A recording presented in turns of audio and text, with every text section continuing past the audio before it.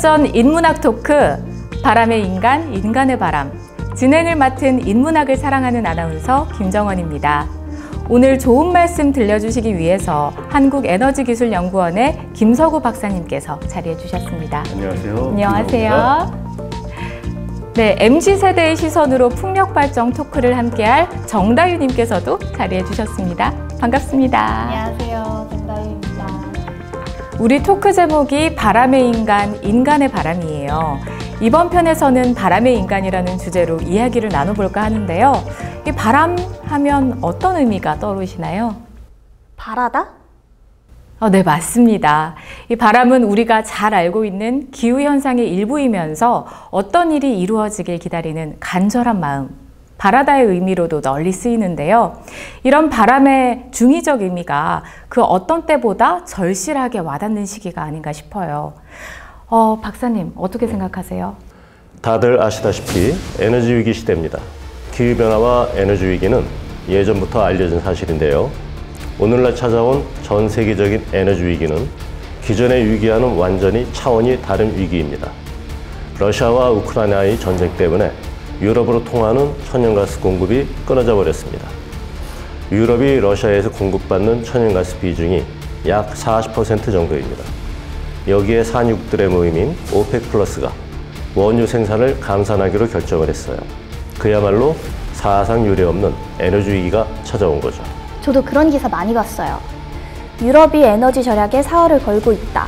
최악의 경우에 대규모 정전 상태도 올 수 있다. 이런 기사요. 근본적인 문제는 단순한 에너지 부족 현상이 아닙니다.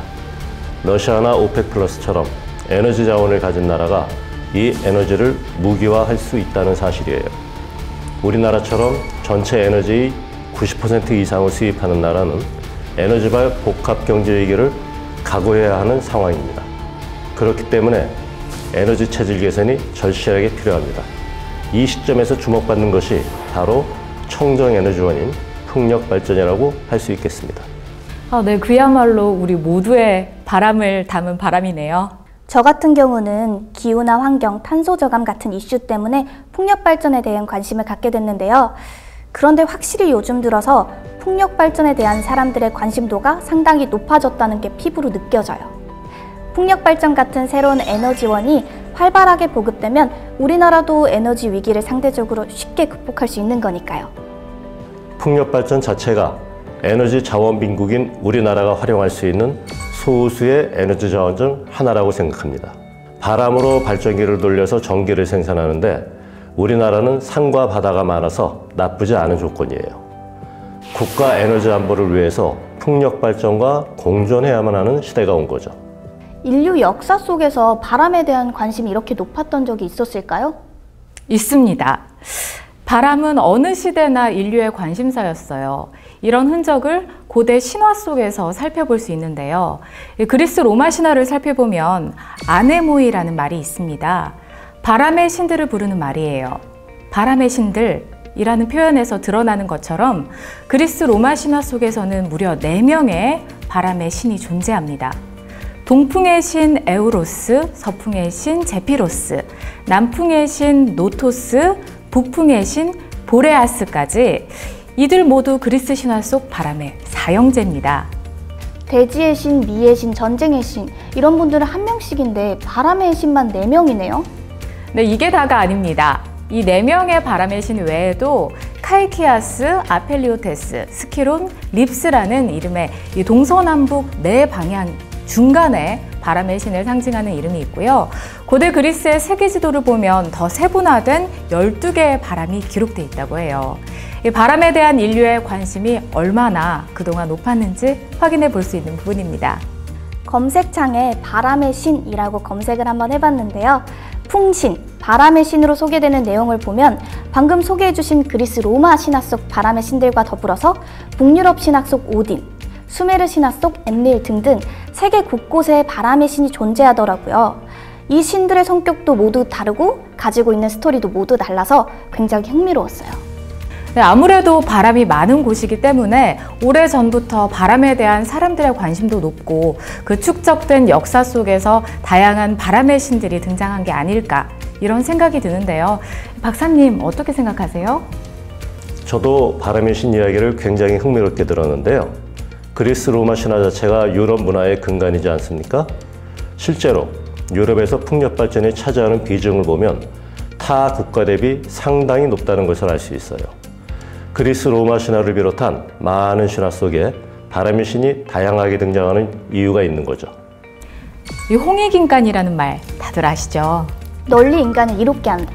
맞습니다. 우리의 뿌리라고 할 수 있는 고조선 건국 신화에 드러나는 정신이에요. 이 홍익인간을 위해 환웅이 풍백, 우사, 운사를 거느리고 인간 세상에 내려왔습니다. 이 풍백, 우사, 운사는 각각 바람, 비, 구름을 관장하는 기상신인데요. 재밌는 사실이 있어요, 여기서. 이 세 기상신 중에서 가장 격이 높은 신이 바로 바람을 관장하는 풍백입니다. 풍백이라는 이름에서 확인할 수 있는데요. 이 백자가 바로 우두머리를 뜻하는 글자라고 합니다. 왜 그런지 알 것 같기도 해요. 실제로 날씨를 보면 바람이 습한 공기랑 만나야 구름이 생기고 이 구름이 모여야 비가 내리잖아요. 기상 조건 중 가장 앞서는 현상이기 때문에 바람을 관장하는 풍백이 우두머리 아니었을까요? 네, 이런 현상은 농경 문화와 관련이 있는 것 같죠. 앞서 언급했던 그리스 신화 속 서풍의 신 제피로스는 봄을 재촉하고 모든 씨앗을 자라게 하는 신으로 숭배되고 인도의 바람의 신 바유를 형상화한 그림을 보면 금빛 의자에 앉아서 광명과 복덕을 내려주는 선하고 아름다운 모습으로 표현되어 있다고 하니까요.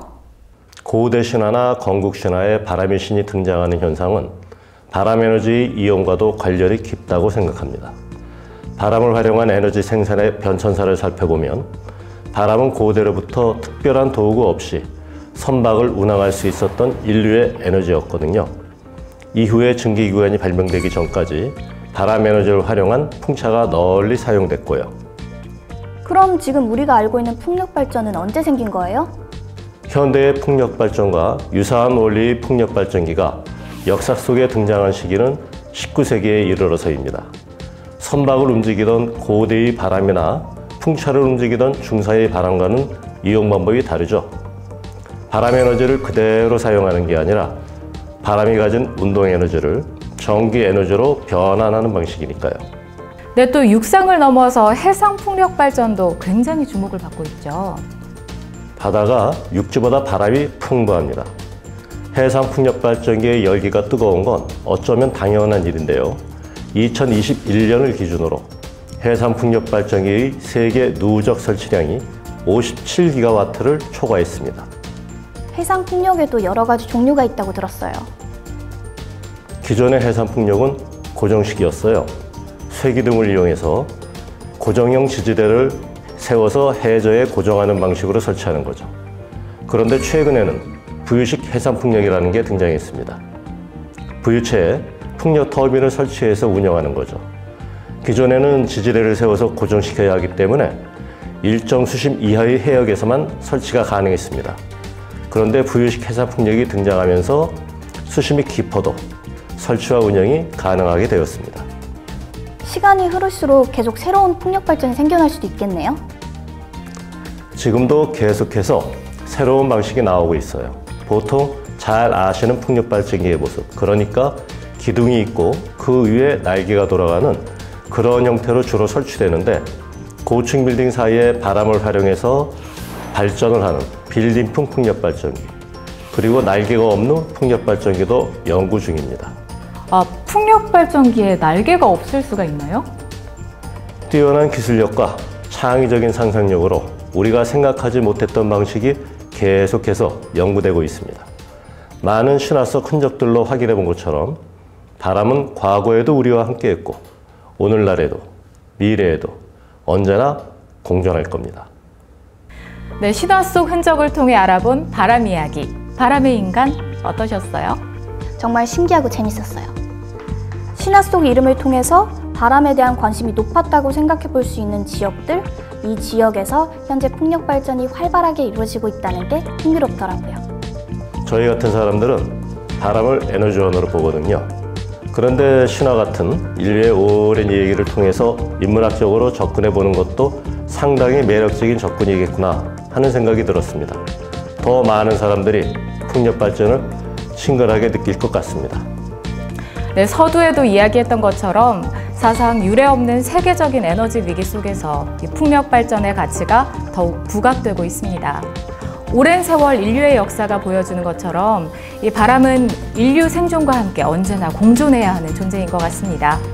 재미있는 바람 이야기를 통해 풍력 발전과 조금이나마 가까워질 수 있는 기회가 되셨길 바랍니다. 함께 해주신 두 분 감사드립니다. 감사합니다. 어?